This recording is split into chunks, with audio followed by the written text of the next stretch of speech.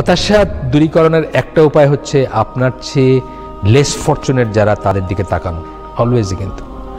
যে কোনো জিনিস নিয়ে হতাশা আসছে, এটা আপনার দুনিয়া হোক, দিনের ব্যাপারের জন্য হোক, দিনের কাজের জন্য হোক, বা অন্য কোনো আপনি রেজাল্ট পাচ্ছেন না, আপনি ই পাচ্ছেন না। ধরেন আমি আমি কালকেই বলতেছিলাম যে, কালকে নয়, শনিবারে যে আসছিলাম, যে মানুষজন কম হয় এখানে হালাকাগুলোতে বিকালে। একজন আমাকে কালাম বলতেছিলেন যে আসলে না না কারণ টারণ দেখেন আমার দেখেন মানুষ কম হওয়াটা আমার কাছে কোনো ফ্যাক্টর না, কিন্তু কাজে লাগতেছে কিনা আমার কথা বলাটা এটা ফ্যাক্টর তার কারণ, রাসুল সাল্লাহ সাল্লাম দশ বা এগারো বছর মেহনত করার পরে যখন তায়েফে গেছেন, মাত্র একজন মানুষ ওনার কথা শুনছে।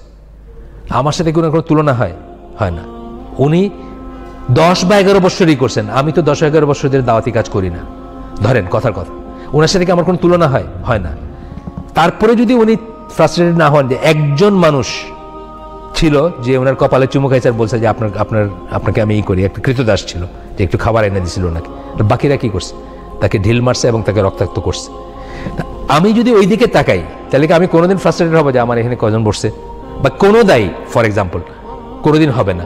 এই জন্য সব ব্যাপারে উচিত কি, আপনার চেয়ে হতাশা কাটানোর একটাই হচ্ছে যে আপনার চেয়ে নিচের দিকে যারা আছে তাদের দিকে তাকাবেন ইন অল রেসপেক্ট আরেকটা হচ্ছে যে আল্লাহ নিষেধ করছেন এই কথাটা মনে রাখবেন, যেটা এগুলো কিন্তু আল্লাহ নিষিদ্ধ একটাই ব্যাপার, সেটাও মনে রাখবেন এবং আশা করবেন যে ইনশাল্লাহ আল্লাহই করে দিবেন।